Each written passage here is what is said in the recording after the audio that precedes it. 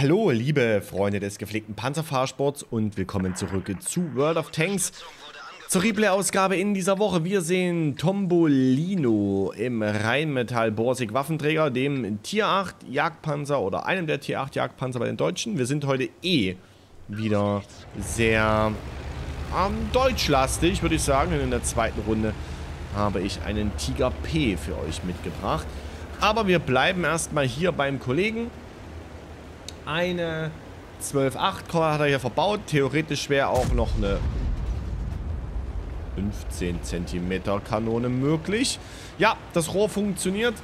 Wir haben Standard AP mit 246 Durchschlag, Premium APCR mit 311, Alpha 490, das kommt uns allen sehr bekannt vor, das ist halt diese typische 12.8er bei den Deutschen, die L55. Wir haben 65 Pen auf der HE bei 630 Alpha, 0,35 Genauigkeit, 2,3 Sekunden Einziehzeit, 11,5 Sekunden Nachladezeit. Gun Depression nicht überragend beim Borsig. Wir haben einen sehr guten Tarnwert, mäßige Sichtweite und man kann schon sagen, mit der geringen oder eingeschränkten Mobilität ein ganz klassischer ja, Sniper-Jagdpanzer, der hier erstmal den ersten Schuss auf den Gegner versemmelt und er ist ja auf eine sehr, sehr klassische Position gefahren, wobei man hier echt aufpassen muss, selbst mit einem guten Tarnwert geht man hier dann doch schon mal auf beim Schießen. Aber gut, wenn man 490 äh, in den Gegner reingebatzt hat, dann kann man danach auch erstmal in den Reload fahren und sich hinterm Stein verstecken. So, und ich bin gespannt, was er uns hier zeigen wird. Ich mache die Minimap noch ein bisschen größer. Wir sind hier auf Flugplatz. Ein Tier 8 Only Gefecht. Flugplatz ja mit der Überarbeitung. Eine Karte, die... Äh na, Blindschuss? Ne. Wie soll ich sagen? Mir gefällt sie nicht mehr so sehr wie vorher. Es sind einfach... Äh, die Heavy Lane ist einfach zu... Äh wie soll ich sagen? Also die Heavy Lane, die Überarbeitung, dass die notwendig war, oder ein bisschen Abwechslung reinzubringen, kann ich schon verstehen. Aber das, was sie jetzt daraus gemacht haben, ist im Grunde noch ein viel größeres Campfest. Einzig, der Arti haben sie einen Gefallen, oder keinen Gefallen getan, bis was den Arti-Kritikern, dass die Karte im Grunde als Artillerie, ähm, ja, nicht mehr so gut spielbar ist. Gut, wir haben hier einen Schuss auf das 703 gesehen. Der hat einen schönen High Roll gemacht. Dort den TS54. Der macht keinen High Roll, geht aber in die Kette. Macht das Kettenrad kaputt. Dementsprechend mit zwei Schüssen hier über 1000 Damage. Und so wie es aussieht, jawoll, nochmal ein zweiter Schuss rein. Diesmal gibt es einen schönen High Roll, 553.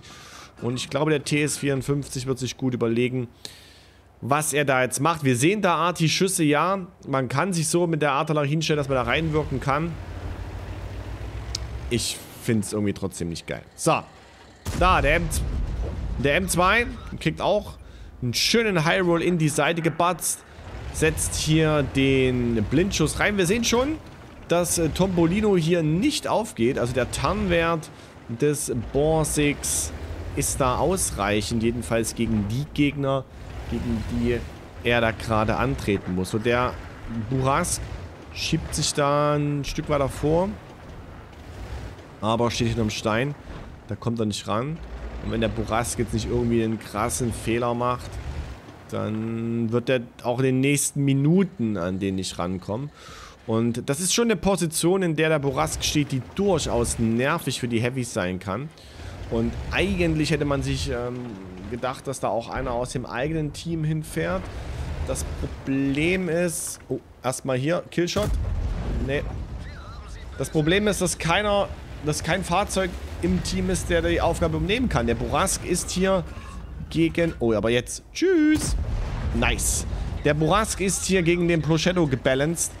Und der Prochetto kann einfach die Aufgabe dort nicht übernehmen. Das funktioniert nicht so. Hallo, lieber Hotchkiss. Wenn der Hotchkiss da noch war, dann hat die Granate auf jeden Fall getroffen. Wir sind bei 2300 Schadenspunkten. Aber wie gesagt, mittlerweile auch ein Blindschuss mindestens dabei. Die Arti schießt auf den Burask. Er hat jetzt hier kein Scherenfernrohr mit dabei. Dementsprechend wird er den Burask, selbst wenn er da aus der Deckung rausfährt, nicht spotten können. Das wird nicht funktionieren. Da ist der Hotchkiss. Der hat auf jeden Fall eine verpellt bekommen. Na, mein Freund, komm noch mal. Wir haben noch eine schöne Granate um dich da zurück in die Garage zu schicken. Na, na, na komm, komm, komm, komm. Oder vielleicht jetzt. Nein, doch nicht. Hm, na. Naja, gut, er weiß natürlich genau, dass er den Fehler nicht machen darf. Ah, der Boras gleich? Ne, auch nicht. Ja, aber okay. Gut, das war jetzt... Also, darauf hat natürlich Pompolino hier drauf gewartet. Aber vom Hotchkiss war das jetzt nicht super optimal gespielt, aber was soll's. So, was haben wir da noch? Wir haben noch ein IS-22. Oh, der Borask ist da. Oh, der Borask ist da. Snapshot. Jawohl, und 576 in den Borask reingebatzt. Aber der spottet ihn jetzt auch. Also wir sehen hier schon, wenn da Fahrzeuge stehen, die ein bisschen eine Sichtweite haben, dann können die hier oben in diese Position reinspotten. Selbst wenn hier ein Borsig steht mit einem recht guten Tarnwert. Und das ist natürlich gefährlich. Aber der Borask weiß natürlich auch, dass er jetzt in der Garage zurück ist. Dementsprechend... Was macht die Artillerie denn da? Sterben! Die hat keinen Bock mehr. Es steht 9 zu 7. Fährt er jetzt hier... Oh. Oh. Äh... Eieiei. Okay, das Fazit ist, man kommt da runter aber man muss schon vorsichtig sein. Wir haben noch irgendwo einen Jagdpanther und noch eine zweite GW-Panther, die nicht offen war. Ansonsten waren alle Fahrzeuge gespottet. Da oben soll wohl noch was stehen. Da wird hingepinkt, aber so richtig kann ich mir das nicht vorstellen. Da ist der gegnerische Progetto. Der P43 Ter ist ähm, auf der Halbinsel das letzte Mal gespottet gewesen. Ich vermute den Jagdpanther, dort wo gerade hingepinkt wird, auf D2. Und ist die, was machen denn die Artis in dieser Runde? Eieieiei. Und jetzt sehen wir aber auch das Problem. Ja, schöner Kill, schöner Snapshot. Wir sehen so ein bisschen das Problem, was der Borsig hat. Er ist halt nicht der mobilste. Wir haben hier, ich muss mal kurz drauf gucken, einen Topspeed von 35 und mit der Kanone hier ein Leistungsgewicht von 11,55 PS pro Tonne. Ja, also, was soll ich sagen? Das ist überschaubar. Das heißt, man muss gut vorplanen, man muss die Runde gut im Blick haben, um zu wissen, ja, jetzt kann ich, jetzt sollte ich, jetzt müsste ich mal mich in Bewegung setzen, um entweder am Leben zu bleiben oder vielleicht aus der Runde noch was rausholen zu können. So, hallo 703. Das ist natürlich jetzt gefährlich, weil wenn das in den Doppelschutz setzen kann.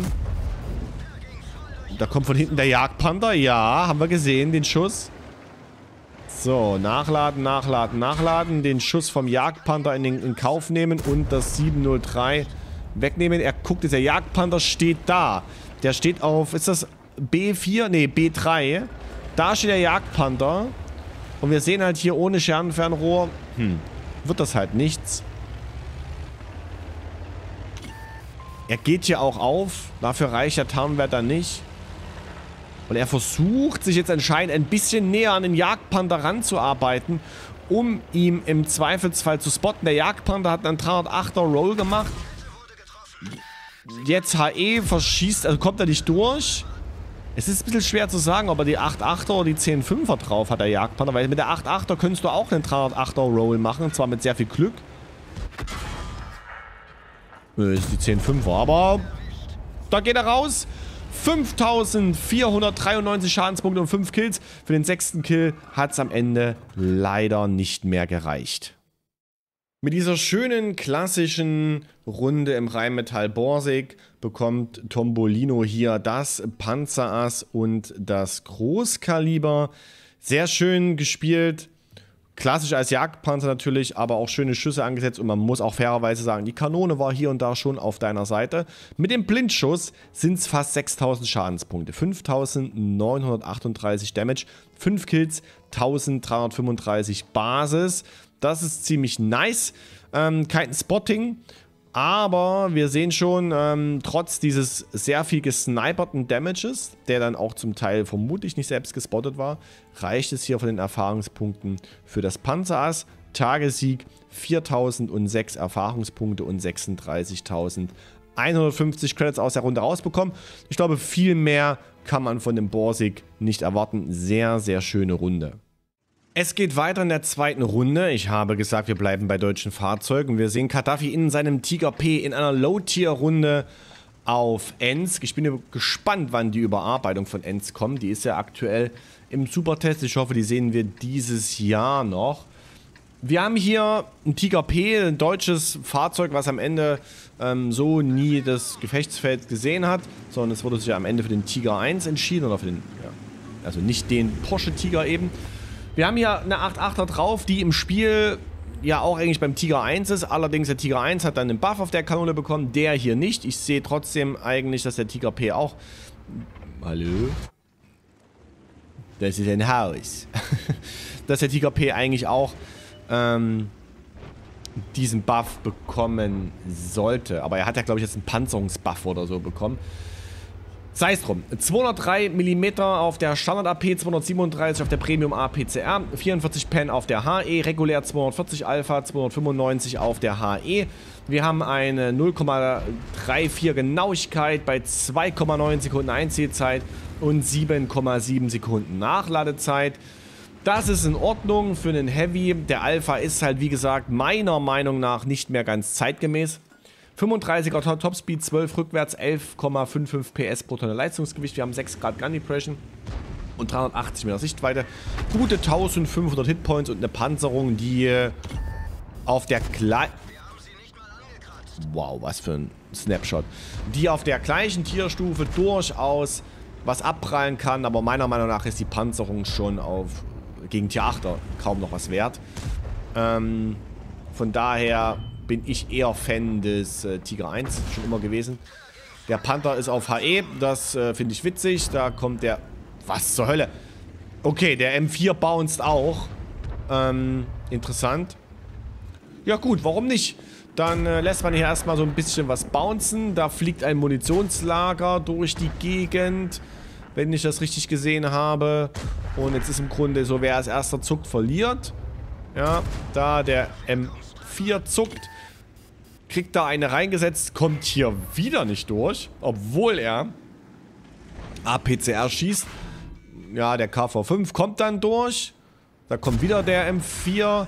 Der kommt diesmal durch.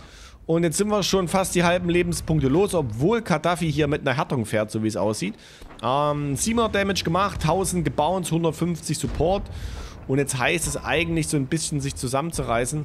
Rechts T29 könnte jetzt gefährlich werden. Hat er, glaube ich, noch nicht gesehen. Auf der, auf der Minimap. Er kriegt auch auf den Conway ein Spotting, der da auch durchgefahren ist. Jetzt hat er mitgekriegt, dass der T29 da ist. Und die Kanone, ja, warum nicht? Also die arbeitet hier sehr, sehr für ihn. Aber der T29 ist natürlich ein Problem. Und wenn der Conway auch wieder ein Stück zurückfahren wird, was? Zurückfahren würde, dann wäre der Conway auch durchaus ein Problem. So, jetzt muss er aber erstmal gucken, dass er sich hier in eine bessere Position bringt. Das Problem ist natürlich auch, er ist hier durch diese engen Häuser, Gassen immer sehr schnell Proxy auf Ensk. Da muss er natürlich ein bisschen aufpassen. Das ist natürlich kritisch und dementsprechend ist da auch ein Überraschungsmanöver nicht ganz so einfach möglich. Der Komet versucht es jetzt. Das Ding ist halt, der KV-5 ist halt mit so viel Hitpoints gesegnet, dass der, ja, der Komet da halt einmal Pui machen kann. Und der KV-5 sagt, Bots. Und ähm, das ist, glaube ich, jetzt nicht unbedingt auch die beste Position für den Kometen. Aber ja, Ensk als Low-Tier 7er gegen 9er. Das ist natürlich so ein bisschen schwierig. So, der Panther ist ein One-Shot. Die Frage ist, was macht der KV-5? Gaddafi lädt jetzt hier auf die Premium. Der KV-5 ist da. Sieht die Kette von Gaddafi. Und, äh, gut, macht's aber auch echt schlecht, der KV-5. Das ist jetzt schon, da muss man sagen, das ist KV-5. Vielen Dank für deine Hitpoints. Ähm, wir sehen uns dann irgendwann in der nächsten Runde wieder. Und, ähm, oh, also gut, der KV... Oh. Also der KV5 hat anscheinend nicht viel Ahnung. Er schießt halt immer wieder an die Seite. Er zieht ihm zwar die Kette, aber er macht halt keinen Schaden dabei. Und eigentlich kann das Gaddafi scheißegal sein. Er kriegt kein Damage. Er muss halt jetzt schnell den KV5 wegfarmen. So, tschüss. Und jetzt nach rechts, der M4 ist im... Ja, okay, hat sich erledigt. Der M4 ist wieder da. Allerdings kommt jetzt noch ein Tiger 1 als ähm, Hilfe von hinten. Der Panther war auf HE. Jetzt ist er auf der regulären ähm, Granate. Macht ihm Damage, aber das war jetzt wichtig, den Panther da rauszukriegen. Und jetzt, wenn der Tiger das Ablenkungsmanöver gut spielt, ja, tut er. Er macht sogar den Kill dann haben sie die Seite hier erstmal relativ gut aufgeräumt. Er hat zwei Kills, er hat 1900 Schaden gebounced und er ist bei 2289 Schadenspunkte. Also hat er ja gut gelöst, obwohl er nach den ersten Schüssen so ein bisschen übermütig war hier, Gaddafi. Und sich da, oder was heißt übermütig? Er hat auch vielleicht ein bisschen Pech gehabt einfach. Oder Glück mit den ersten Schüssen, je nachdem. Aber er war dann relativ schnell ähm, mit wenig Hitpoints oder noch den halben Hitpoints gesegnet. Da muss man natürlich ein bisschen aufpassen. Ich glaube, der M6, das ist jetzt der 9er, der weiß nicht, dass er jetzt hier von hinten gleich ankommt. Der lädt jetzt wieder die Guten. Ja, lang. Ja, hallo. Jo, der bounced. Genau. Moin. Das ist da ein One-Shot. Da hinten ist irgendwo eine Artillerie. Die ist aber erstmal egal. Der Jagdpanther deckt da jetzt seine Rückseite. So, die Frage ist, was macht er jetzt? Er fängt sich den Schuss. Okay, interessant.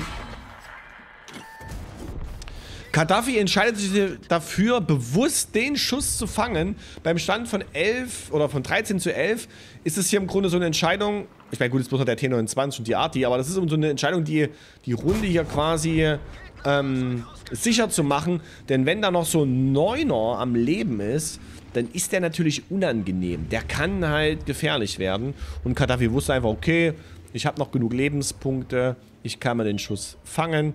Da ist die Artillerie. Er lädt sogar nochmal auf HE um, um der GW Panda da in den Aufbau zu schießen. Ja, es sind trotzdem nur 243 Schadenspunkte. Er macht den Kill. Nummer 5 auch hier. 3354 Schadenspunkte. Und am Ende gewinnen sie hier die Runde mit einem sehr guten Gameplay da auf der Heavy Lane of Ensk. Die Auswertung zeigt uns auch hier ein Panzerass, eine Stahlwand und finde ich schon recht überraschend, von einem Tiger P eine Stahlwand zu sehen, vor allem gegen 9er. 3354 Schadenspunkte, damit ähm, Platz 1 vom Schaden her. Dafür, dass das eine Low-Tier-Runde war, ist das sehr überraschend. Der PTA mit 1300 ist hier nicht gerade der überragendste. Ähm, der, der Standard B mit 440 Damage. Hui! Ähm, war, die, war das die Arti, die hier noch der, die dritte? Ne, Tiger P ist, glaube ich, die 8er Arti. Ach, hier, der Kampfpanzer war der. Also sagen wir mal, fassen wir es mal so zusammen. Die Neuner hier aus einer Runde haben sich nicht mit Schadensruhm äh, bekleckert. Jedenfalls in seinem Team. Der Chiso aus dem Gegnerteam hat auf jeden Fall seine Aufgabe hier erfüllt. 2240 gebaut, 234 Support. Es war an den richtigen, wichtigen Stellen APCR unterwegs.